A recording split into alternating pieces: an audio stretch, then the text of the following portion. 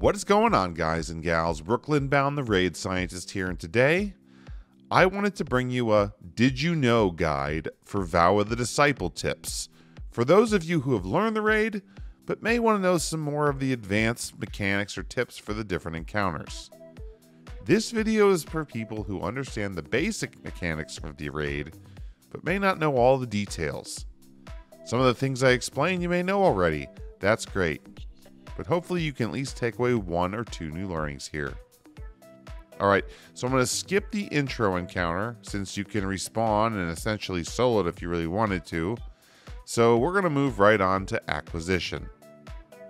Alright, first, did you know that every time you kill one of the chieftain glyph keepers in the rooms, it will reset the wipe timer on the obelisks? Remember that the wipe timer goes up if you let the shielded abated adherents do too much damage to them or if you take too long. But killing these glyph keepers will reset the timer back to zero. This is extremely helpful to know if you're doing something like the On My Go Triumph or even master level content as the timer can fill up a little faster. Secondly, did you know that when you kill the Glyph Keeper, also, two unstoppable ogres will spawn near two of the obelisks randomly?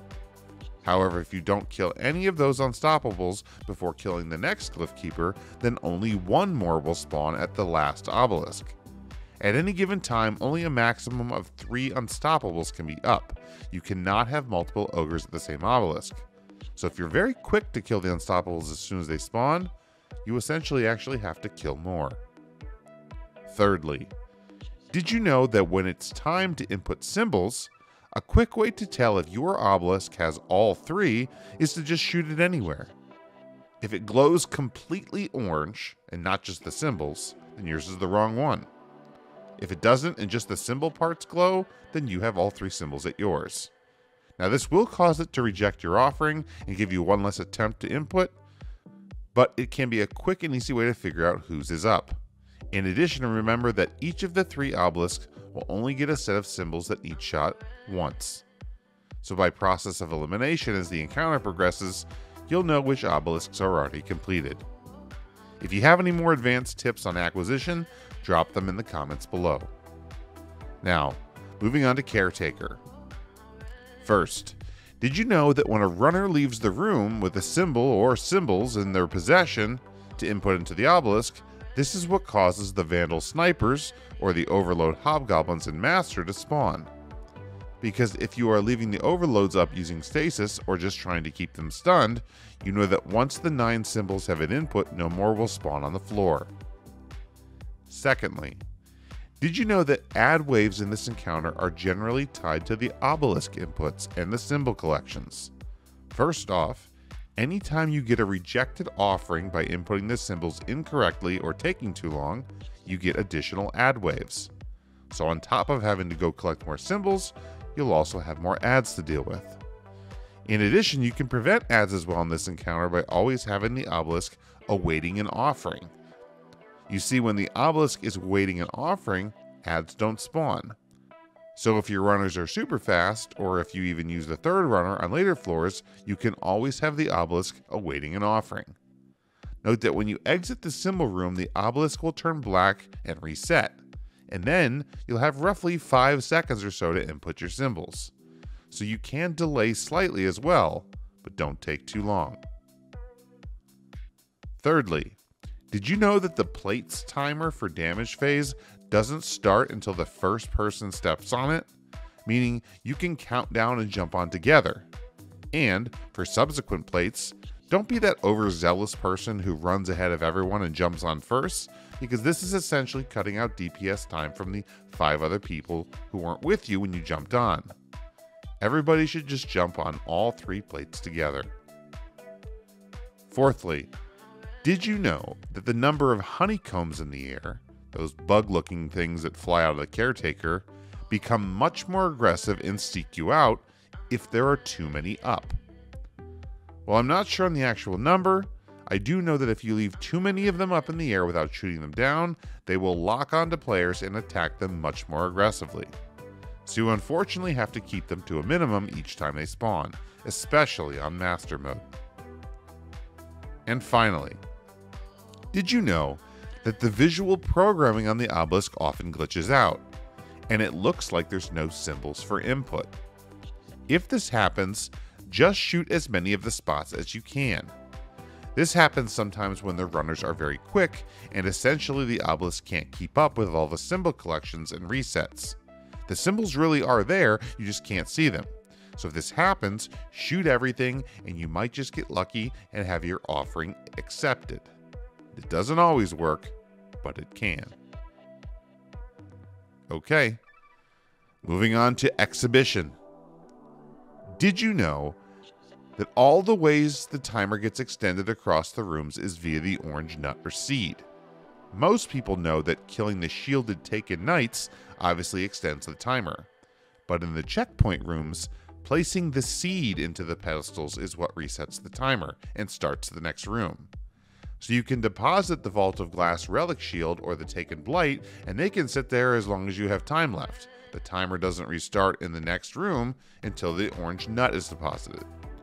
This is very helpful in low man attempts because you essentially run out the 30 second timer given to you from dropping a relic, which doesn't allow you to pick up another one. Also, if you struggle with this encounter, knowing this allows you to breathe a little after each room. Because if you have, say, 40 seconds left, you can talk strategy, wait on a super, or go back and grab some ammo if needed before putting it in and starting the next room. Secondly, did you know that it's a common misconception that the Glyph Keeper spawns in the rooms are triggered by the killing those hobgoblins only? The Glyph Keeper spawns are triggered by killing enough ads of any kind. It just so happens that the taken hobgoblins are worth more in the total ads killed tally, so it seems like that's what triggers it. Either way, it's important to know that you have to kill ads and a lot of them to get the glyph keepers to spawn. They are not on a timer. Thirdly, did you know that the symbol callouts from the glyph keepers don't despawn? So if your team is struggling and you can't remember callouts, just kill everything, push forward quickly, and then once you reset the second timer by killing the second shielded knight, just double back and do the callouts without anything shooting you.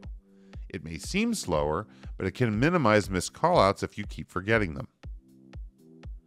Fourthly, and I hope this eventually gets fixed, but did you know that if you are too fast with the Taken Blight relic and remove it before the ads in that section spawn in, it can cause the taken blight to respawn again. So if you see this happen, you'll know why. And finally, most people know this, but some newer folks might not. That did you know the taken blight locations in the final two rooms are randomly assigned and are not always the same? They rotate between one or two different locations or patterns. Therefore, it's best to have someone who knows the options and locations run this relic to maximize the efficiency. Now finally, onto the Rhulk encounter. There really isn't a lot of hidden mechanics or tricks on this one, honestly, but I do have a few details newer folks may not know. First, did you know that every time you dunk two emanating buffs into the appropriate pillars, a yellow bar abomination spawns? And the Rhulk orange bubble around him that allows you to not get near him gets a little smaller. Secondly, did you know that after dunking an emanating buff, you have 5 seconds to possibly dunk a second one, aka do the double dunk strat, before the symbols on the six pillars change.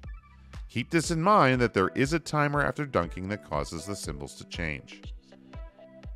Thirdly, did you know that getting hit by Rhulk's light beam attack gives you stacks of pervading darkness? And the longer you stay in it, the more stacks you can get, and the more damage you take. Therefore, you need to be careful if you aren't doing the buffs, and especially during DPS phase to not get hit by this. Because when he goes into his final stand, if you already have stacks of darkness, it could kill you much faster. On the flip side of this, there is a raid mod you can get called Umbral Sharpening that increases your damage based on the number of stacks of Pervading Darkness.